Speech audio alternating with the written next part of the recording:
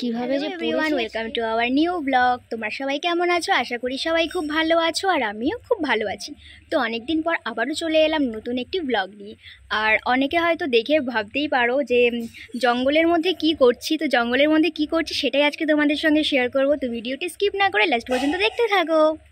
তো আজকে কিন্তু ভিডিওটির পাশাপাশি আরও একটা জিনিস তোমাদের সঙ্গে আমি শেয়ার করতে চলেছি, সেটা হলো আমার নতুন বিজনেস হ্যাঁ মাঝখানে কিন্তু কদিন খুব ব্যস্ত ছিলাম এই বিজনেসের জন্য, তাই কিন্তু ব্লগ দিতে পারিনি। তো আজকে একটু ফাঁকা হয়ে আজকে তোমাদের সঙ্গে ব্লগটা দিলাম। আর হ্যাঁ কিসের বিজনেস করছি সেটা পুরোটাই তোমাদের সঙ্গে শেয়ার করব, তার জন্য কিন্তু তোমাদের ভিডিওটা লাস্ট পর্যন্ত দেখতে হবে, একটু স্কিপ না করে। তো কেন বলছিলাম তোমাদের যে আমি আজকে বাগানে চলে এসেছি, দেখো বাগান থেকে কিন্তু ব্লগটা স্টার্ট করলাম। আর বাগানে চলে এসেছি কিন্তু আমি আমার গাছের সবজি তুলতে। তো কি কি সবজি হয়েছে বাগানে সেটাই তোমাদের সঙ্গে শেয়ার করব, দেখো। এখানে দেখো, এটা কিন্তু কালো লঙ্কা গাছ। ফুল ফুটেছে, দেখো। এই গাছটাতে কিন্তু এখনও লঙ্কা আসেনি, তবে লঙ্কা আসবে। ফুল ফুটেছে অনেক। আর এখানে দেখো, একটা লঙ্কা এসছে সবে মাত্র আর আজকে ওয়েদারটাও কিন্তু বেশ সুন্দর, এক ফোঁটা, দু ফোঁটা বৃষ্টিও পড়ছে। তো চলো, এবার দেখানো যাক। তো দেখো, এখানে কিন্তু একটা ছোট সাদা বেগুনও হয়েছে। দেখো, সবে একটা হয়েছে বেগুন, আর এখানে কিন্তু ফুল এসছে। কিন্তু অনেক পেঁপে গাছের চারা হয়েছে। আর এই গাছটায় দেখো, এই গাছটায় কিন্তু ভর্তি লঙ্কা হয়েছে, সেই কালো লঙ্কাগুলো। এগুলো কিন্তু খুব ঝাল হয় খেতে। আর এখন যা লঙ্কার দাম। আমি তো পুরো কোটিপতি হয়ে যাব এখানে যা লঙ্কা হয়েছে।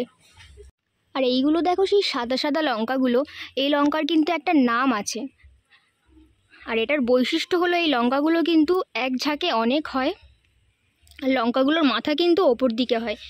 তো এই লঙ্কার নাম যদি তোমরা কেউ জেনে থাকো, অবশ্যই আমাকে কমেন্ট করবে। চলো, এবার হারভেস্টের সাথে সাথে তোমাদের সব জিনিসগুলো দেখিয়েও দিই।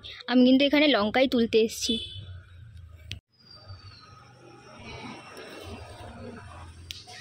এত সুন্দর লাগছে না দেখতে? আমার তো তুলতে ইচ্ছেও করছে না গাছের থেকে।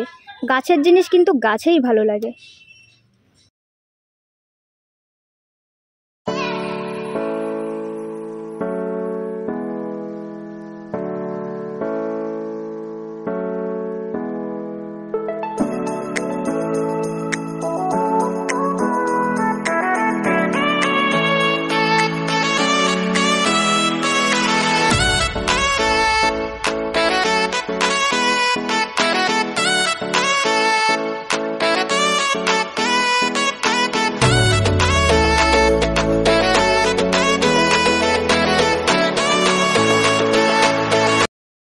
এই লঙ্কাগুলো যারা আগে খেয়েছো তারাই জানো এটার কেমন ঝাল।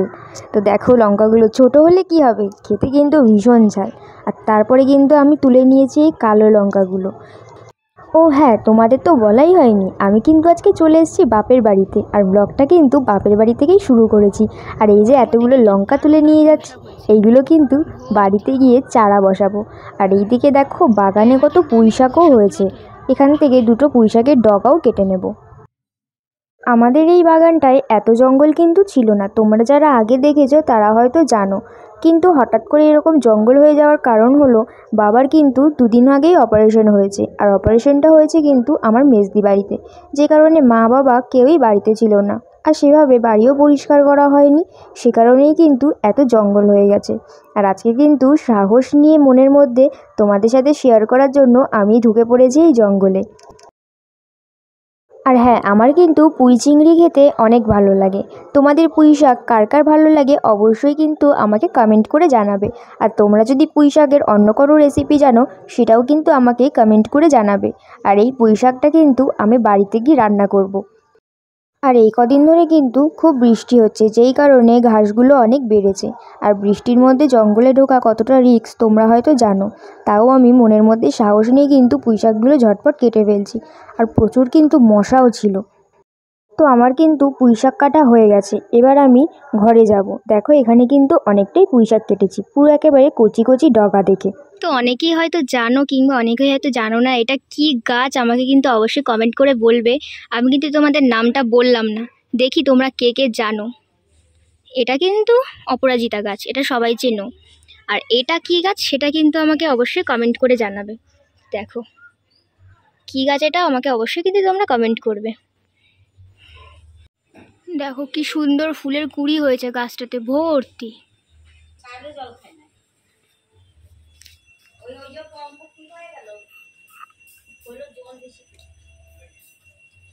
তো দুটো ফুলের কুড়িও তুলে নেব।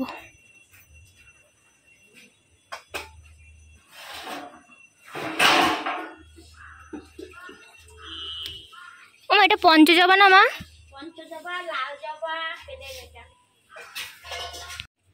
এখানে কিন্তু দুটো ফুলের কুড়িও তুলে নিয়েছি। এগুলো কালকে ফুল। এইবার কিন্তু আমি বসে পড়েছি সেই বাতাবি লেবু নিয়ে। এখন কিন্তু এইটা আমি মাখবো। আর এইদিকে দেখো, বাবা কিন্তু আমার পেছন থেকে হাঁটতে হাঁটতে চলে গেল। কি যেন একটা বলছিল আর আমি মায়ের সাথে গল্প করছিলাম আর বাতাবি লেবুটা কিন্তু ছাড়িয়ে নিচ্ছিলাম। আমার কিন্তু বাতাবি লেবু বেশ ভালো লাগে। তোমাদের কার কার ভালো লাগে অবশ্যই কিন্তু আমাকে কমেন্ট বক্সে জানাবে। তো চলো বাতাবি লেবুটা কেটে নিই, তারপর দেখা হচ্ছে তোমাদের সাথে। তো লেবু কিন্তু ভালো করে আমি ধুয়ে নিয়েছি ছাড়িয়ে, দেখো কি সুন্দর। তো চলো এটা এবার আমি মেখে নেব। ক্যামেরাটা এরকম হচ্ছে কেন মাঝে মধ্যে? এই যে সেই লঙ্কা। এবার এই লঙ্কাটা দিয়ে মাখবো আমি।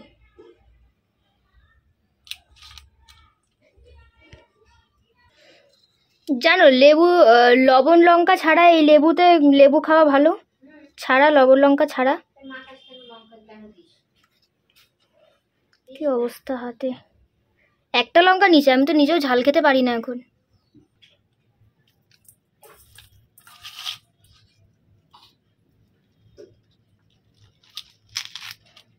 একটা লঙ্কা দেওয়ার পরে এমন একটা সেন্ট বেরিয়েছে, আমি কিন্তু আর একটা লঙ্কা দিতে সাহস পাইনি। সেই লঙ্কাটা কিন্তু আমি সাইডে রেখে দিয়েছি। এই যে দেখো আর বললাম না লঙ্কাগুলো কিন্তু খুব ঝাল।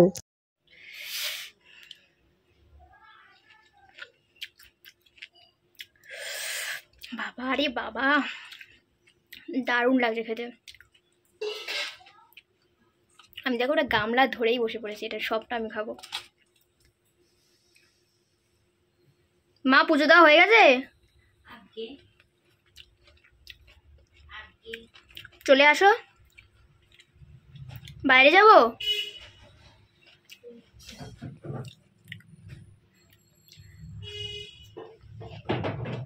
চলো বাসি ধরে নিয়ে বাইরে যাই। আর এই যে দেখো মাকেও কিন্তু দিয়ে দিয়েছি। এবার কিন্তু মা লেবু মাখাটা মাখাটাকে রিভিউ দেবে। ঠিক না বললাম ঝাল কম দিছি বেশি ঝাল আমি খেতে পারি না। হুম টক মিষ্টি ভালোই লাগছে টক মিষ্টি। চিনি দিয়েছি তো। এগুলো খাওয়া ভালো। জন্ডিসের পক্ষে লেবু খাওয়া ভালো। শুধু জন্ডিস না এই তোমার আমি যেরমভাবে মেখেছি তাতে কোনো উপকার নেই। শুধু যদি চিনি দিয়ে খাওয়া যায় তাতে ভালো উপকার। মা কিন্তু এখানে খুব আরাম করে খাচ্ছে। খাওয়া হয়ে গেল। লেবু মাখা খাওয়ার পর বাইরে এসে দেখছি আকাশে কিন্তু এরকমভাবে মেঘ করেছে। এক্ষুনি মনে হয় ঝম করে বৃষ্টিটা নামবে। বাড়ি থেকে আসার সময় কিন্তু ঝিরিঝিরি বৃষ্টি পড়ছিল। আর এখন যা মেঘ হয়েছে, দেখে মনে হচ্ছে বিশাল একটা ঝড় হবে। বলতে না বলতেই কিন্তু একেবারে ঝড় উঠে গেল। ক্যামেরাতে অতটা বোঝা না গেলেও সামনে থেকে কিন্তু আমি বেশ ভালো একটা অনুভূতি ফিল করছিলাম। তো লেবু মাখা খাওয়ার পরে কিন্তু মায়ের আবার চট করে খিদে পেয়ে যায়। মা দেখো এখানে কিন্তু আখ নিয়ে বসে পড়েছে। আর এই আখটা কিন্তু আমাদের নিজেদের গাছের মানে আমাদের বাগানের আখ। আর এদিকে দেখো ঝড় উঠেই কিন্তু সাথে সাথে বৃষ্টি নেমে গেছে। খুব জোরেই কিন্তু আজকে বৃষ্টিটা হচ্ছে।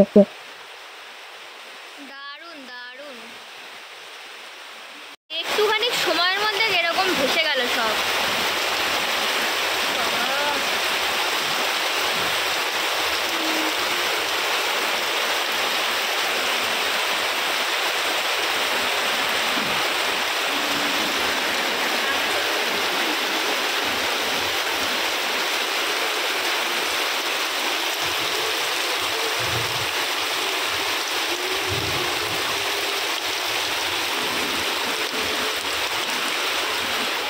যাই হোক, বৃষ্টিতে ভেজার পর কিন্তু দুপুরের লাঞ্চ নিয়ে বসে পড়েছি। আর আজকে কিন্তু লাঞ্চে ছিল ভাত, এখানে উচ্ছে আলু ভাজা শশা আর ইলিশ মাছের ঝোল। হুম হুম, এই বর্ষায় ইলিশ মাছের ঝোল কার কার পছন্দ অবশ্যই কিন্তু আমাকে কমেন্ট বক্সে জানাবে। যদিও এটা ইলিশের ঝোল না, এটা কিন্তু সর্ষে দিয়ে গা মাখা করা হয়েছে। কিন্তু যেহেতু বাবার অপারেশন হয়েছে দুদিন আগে, বাবা বেশি গা মাখা খেতে পারবে না। সে কারণে কিন্তু এরকম হালকা পাতলা রেখে তারপরে কিন্তু সর্ষে দিয়ে মা এটা করেছে। তো ইলিশ মাছ সামনে রেখে কিন্তু লোক সামলানো যাচ্ছে না। চলো আমি দুপুরের খাওয়াটা খেয়ে নিই, তারপর আবার বাড়িও যেতে হবে। প্রথম কিন্তু আমি বাপের বাড়ির দিয়ে একা একা যাচ্ছি আর মা আমাকে এগিয়ে দিচ্ছে। এই যে একটা ব্যাগ, পিঠে একটা ব্যাগ একটা ব্যাগ নিয়ে আসলাম, দুটো ব্যাগ নিয়ে যাচ্ছি। মাঠে আগে কত এসে বসতাম। কিছুটা ছাতা আনিস না তো ওদিকে ও বাহ হেভি লাগছে দেখতে। মেক করছে এদিকে হুম। বাড়ি আসার সময় কিন্তু আমি ভিডিওটা আর কন্টিনিউ করতে পারিনি। কারণ আমার রাস্তার মধ্যে কিন্তু একটা ছোটোখাটো অ্যাক্সিডেন্ট হয়ে গেছে। আমি কিন্তু গাড়ি থেকে একেবারে ব্যাগ ট্যাগ নিয়ে সব উল্টে পড়ে গেছিলাম। আর দেখো এখানে কিন্তু পা কেটে গেছে হাতও কিন্তু কেটে গেছে। যেহেতু হাতের ওপর ভরটা দিয়ে বসে পড়েছি তো দেখো এখানে কিন্তু যেই রাস্তার পাথরগুলো ছিল না সেগুলো কিন্তু হাতের মধ্যে ঢুকে গেছে। খুবই যন্ত্রণা হচ্ছে আর এদিকে দেখো আমার প্যান্টটার কি অবস্থা? আমার পালাজোটাও কিন্তু পুরো একেবারে ছিন্ন ভিন্ন হয়ে গেছে। জীবনে কিন্তু প্রথম আমার। এরকমভাবে একটা অ্যাক্সিডেন্ট হলো। আমি তো একেবারে ভয়ই পেয়ে গেছিলাম। ভাগ্যিস রাস্তায় গেট পড়েছিল না হলে তো আজকে আমি আর বেঁচেই ফিরতে পারতাম না। যাই হোক। আজকে? তো এবার বলি আমার বিজনেসের কথা। হ্যাঁ আমি কিন্তু ক্লথিং সেলের বিজনেস স্টার্ট করেছি। তো তোমরা যারা আমার সাথে কন্ট্যাক্ট করতে চাও অবশ্যই কিন্তু আমি ডিসক্রিপশান বক্সে আমার ফেসবুক পেজের লিঙ্কটা দিয়ে দেবো। তোমরা একটু চেক আউট করে নিও। তো তারপরে একটু গরম গরম চা নিয়ে বসে পড়েছি, কারণ শরীরটা একদমই ভালো লাগছিল না আর মাথাটাও খুব ধরেছিল আর পড়ে গেছিলাম তো তো গা হাত পা খুব ব্যথা হয়েছিল কিন্তু। তো যাই হোক বন্ধুরা, আর ভিডিওটা কন্টিনিউ করতে পারলাম না আমি, কারণ শরীরটা খুব খারাপ লাগছে। তো ভিডিওটি কেমন লাগল তোমরা আমাকে অবশ্যই কমেন্ট করে জানিও, ভালো লাগলে অবশ্যই একটা লাইক করে দিও শেয়ার করে দিও, আর আমার চ্যানেলটি সাবস্ক্রাইব করে দিও। দেখা হবে আবার একটি নতুন ব্লগে ভালো থেকো সবাই, টাটা।